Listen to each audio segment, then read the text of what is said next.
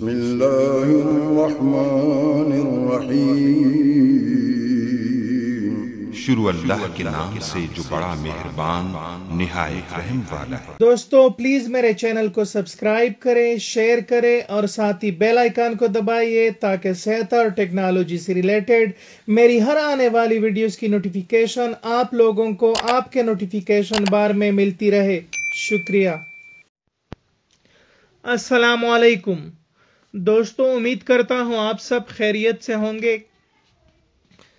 پچھلے ویڈیو میں ہم نے ہارٹ اٹیک کے بارے میں بات کی تھی۔ ہارٹ اٹیک کیا ہے؟ کیوں ہوتا ہے؟ کیسے ہوتا ہے؟ علاج کیا ہے؟ اور کیسے ہم خود کو ہارٹ اٹیک سے بچا سکتے ہیں؟ تو دوستو، آج ہم بات کریں گے، ہارٹ اٹیک کی صورت میں ابتدائی کیا تدابیر اختیار کرنی چاہیے؟ دوستو، یہ سوال عام لوگوں کے لیے بہت اہمیت کا حامل ہے کہ ہارٹ اٹیک کی صورت میں ہمیں کیا کچھ کرنا چاہیے۔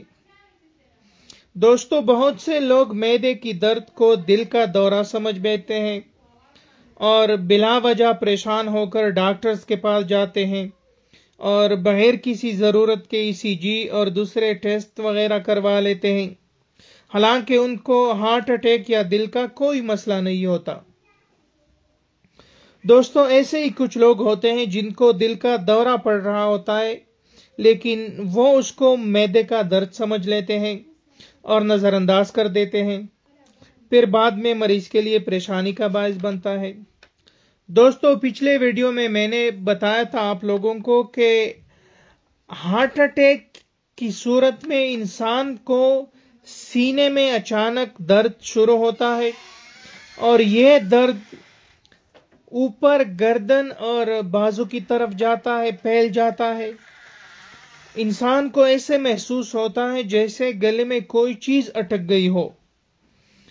سانس لینے میں دشواری ہوتی ہے، پسینہ بھی آنے لگتا ہے اور بعض اوقات مریض الٹیاں بھی کرنے لگتا ہے۔ تو اگر ایسی صورتحال ہو تو یہ ہارٹ اٹیک یا دل کا دورہ ہو سکتا ہے۔ تو دوستو، اب ہم بات کرتے ہیں۔ ہارٹ ہارٹ اٹیک کی صورت میں ہمیں کیا کچھ کرنا چاہیے؟ سب سے پہلے تو جتنا جلدی ہو سکے پیشنٹ کو ہسپتال لے جانے کی کوشش کرے اور ساتھ ہی اگر پیشنٹ ہوش میں ہو تو ایک عدد ڈسپرین ٹیبلٹ پیشنٹ کو دے جو کہ تقریباً ہر گھر میں اویلیبل ہوتی ہے۔ لیکن اگر پیشنٹ کو میدے کی السر ہو، تو ایسی صورت میں ڈسپرین گولی نہ دیا کرے کیونکہ ڈسپرین ٹیبلٹ لینے سے میدے کی السر اور زیادہ ایگریویٹ ہوتی ہے اور سٹمک میں بلیڈنگ بھی ہوتی ہے۔ تو ذرا احتیاط کرے ایسی صورتحال میں۔ دوستو، ساتھ ہی ایک ٹیبلٹ ہوتی ہے انجیسٹ کے نام سے۔ جو کہ زبان کے نیچے رکھی جاتی ہے تو ایک ٹیبلٹ انجیسٹ بھی پیشنٹ کو دیا کرے، پیشنٹ زبان کے نیچے رکھے۔ لیکن اگر پیشنٹ کا بی پی ڈاؤن ہو تو ذرا احتیاط کرے، کیونکہ انجیسڈ لینے سے بی پی ایک دم ڈاؤن ہو جاتا ہے۔ اور اگر پیشنٹ کا بی پی آلریڈی ڈاؤن ہو تو ایسی صورت میں ہاسپیٹل لے جا کر انجیسٹ ٹیبلٹ دے مریض کو۔ تو دوستو، اب باری آتی ہے ڈاکٹرز کی، جو کہ ایک اہم مرحلہ ہوتا ہے۔ ڈاکٹرز اگر مریض کو انجیوگرافی یا انجیوپلاسٹی کا مشورہ دیتا ہے، تو اکثر جو مریض ہوتے ہیں وہ ڈاکٹرز کو بتاتے ہیں کہ ہم اپنے ریلیٹیوز یا اب ہم اپنے فیملی والوں سے بات کرتے ہیں۔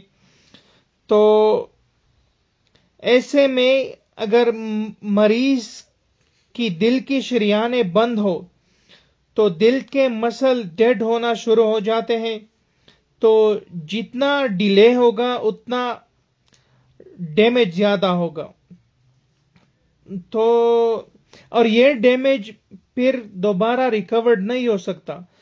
بعد میں اگر انجیوگرافی یا انجیوپلاسٹی ہو بھی جائے، تو جو ایریا ڈیڈ ہو چکا ہے، وہ دوبارہ ریکورڈ نہیں ہوتا۔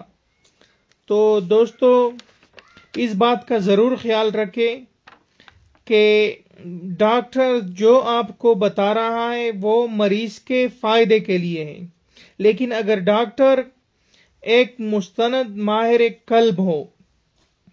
تو دوستو، امید کرتا ہوں کہ آپ لوگوں کو تھوڑا آئیڈیا مل گیا ہوگا کہ ہارٹ اٹیک کی صورت میں ہمیں کیا کچھ کرنا چاہیے۔ تو دوستو، اگر آپ کو ویڈیو پسند آئی ہو، تو پلیز ویڈیو کو لائک کرے میرے چینل کو سبسکرائب کرے اور ساتھ ہی بیل آئیکن کو پریس کر لے تاکہ میری ہر آنے والی ویڈیوز آپ لوگوں کو بر وقت ملتی رہے۔